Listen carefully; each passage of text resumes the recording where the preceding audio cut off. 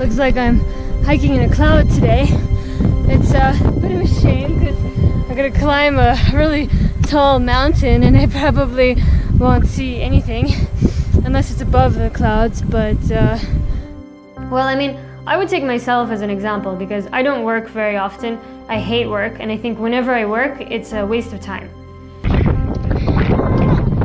So, with most of my life, what do I do? I love to explore the world. I love to dive and to see different places and to climb mountains and also to learn about it, to know what's going on on our planet.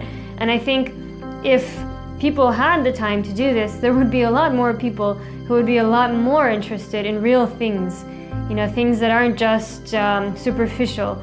I don't think people would get bored. I think there's so much to discover, so much to do, so much to improve upon. Yeah, I think it's silly to think that people would get bored without their jobs. It's just that in today's world, people get bored because they don't know much about the world. They grew up watching all kinds of movies. They are not that interested in, in the real world, in science, in understanding what we're all made out of, understanding all the animals around them, understanding the universe around them.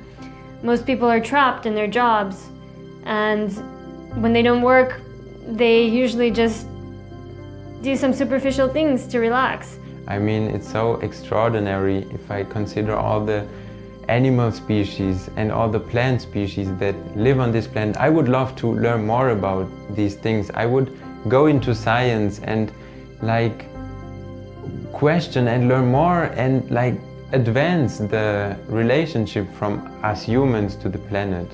So I would really love to, um, yeah, be able to do that.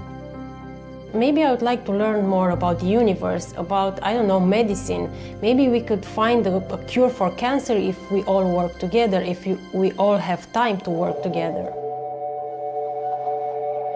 Hey, I'm in Paris airport and we're about to fly to the Réunion for nature preservation and helping animals. I would probably would do the same thing what I'm doing right now. I would play music, I would uh, film videos, I would uh, continue studying and uh, exploring the world, uh, how it works, uh, how we can make it better. It's 6 in the morning and I'm in Montenegro and I'm taking part in a dolphin research. I've seen a huge bear yesterday and now we're standing here. I would try to learn the behavior of uh, animals and how everything is worked and linked together. Uh, you know, I, I, would just be curious about the world and um, I wouldn't need to stress about how to survive and how to make a living. that was scary. and um, yeah, I would do all kinds of different projects which really interested me and which really can improve life of the society or of the environment. It depends on what people are interested in. You can go and explore the sea, for example. You can dive and see all kinds of corals and see how they're doing. And if there are problems, perhaps you can help. You can learn more about them. You can help restore certain ecosystems. That's the kind of world that I see that, you know, more people helping each other and helping the natural world get back to how it was. We'll be able to grow our knowledge to learn more about space, to know more about our own planet, to know more about the ecosystems around us, to know more about our universe. There's so much to learn. I don't think we'll ever hit a wall in terms of how much we can learn and truly progress.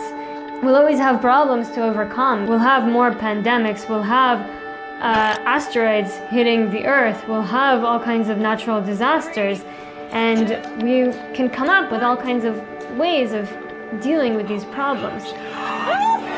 Oh, wow. We're getting visual confirmation. All right. We got it? Even a perfect world will never run out of problems. So there will always be something to solve. There will always be something to work towards. There will always be something to improve.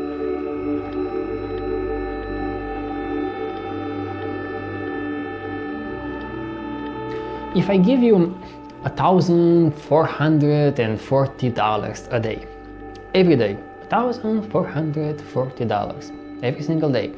Probably he will try to maximize this amount and try to spend it, you know, save it, spend it, you know, make the best out of it because it's every day, a lot of money.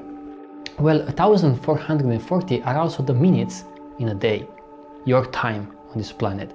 So how about we create a society where we maximize that? We maximize your time because it's non-renewable. You know, the more free time you have and the more relaxed you are, that should be valuable in our society. How about that? Imagine that.